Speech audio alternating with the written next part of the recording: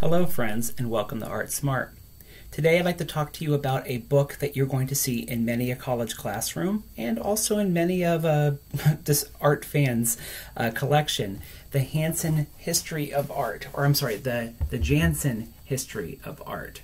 Now, this is a older edition of it, but it's not the first, believe it or not, uh, because it looks pretty old. But actually, this is like the ninth edition of this book, which has been having new editions made since the 1960s. It has been updated every several years, and a lot of copies are now floating out there that which are in paperback. And you'll see a lot of colleges using this book, including uh, the college that I went to, Bowie State University. Now, uh, why would we talk about a college book which has probably a lot of information out there? Well, I think most college students uh, that take art classes are pretty familiar with this, and so you could probably skip this particular video if you'd like. Uh, but there are a lot of other people out there who might be interested in getting this book secondhand. Uh, a lot of people want to learn more about art and aren't necessarily looking to go back to school, and so they're trying to decide what they can learn from uh, books or videos or whatever that's out there that can be picked up cheaply. The good thing is about the history of art by Janson is that it, it has been used by so many students that there are a lot of secondhand copies that are floating out there. And uh, this particular book that I have here is actually a second copy. Uh, the copy I had from school I resold, and I kind of regretted it afterwards, and so I'm glad that I found this particular edition. Uh, is this a good book for you to buy if you are trying to learn about art? I would say only if you are a very dedicated student of art and uh, really want to learn on your own without having a, uh, a strong impetus to learn very minute detail. Why do I say that? Well, first of all, uh, while there are some sections where you have quite a bit of pictures, there are a lot of sections where there isn't a whole lot of information available.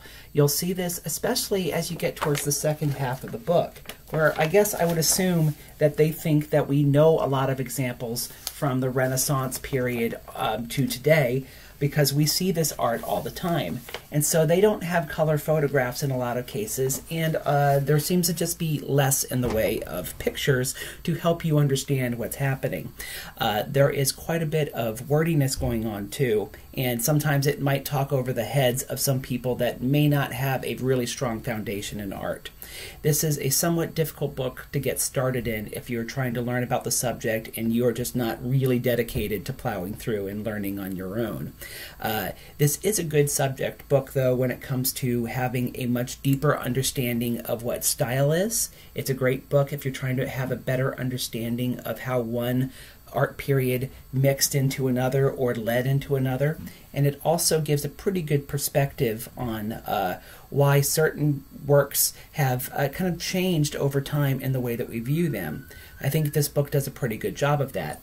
Uh, one thing, especially in these older editions, though, that I would also caution against is some of the wording is a little bit uh, old fashioned, especially that the way that they look at uh, African cultures or what they would look at as being primitive cultures, a term which has kind of uh, gone out of favor as people have a little bit more of a PC way of looking at cultures that have uh, a lot of geometric shapes and um, have a lot of similarities to cultures from thousands of years ago. So uh, that's one minor negative about this book, too. It is a great book if you're trying to really understand art and have a, a, deeper understanding of style. It is not a great book if you're just getting started and you want to see famous pieces and understand why they're famous. So, unless you are somebody who is a pretty dedicated art fan or a little bit further along, I would maybe check out some simpler books that are out there. And I'll give you guys some examples in uh, some upcoming videos of a little bit easier books to maybe get started on.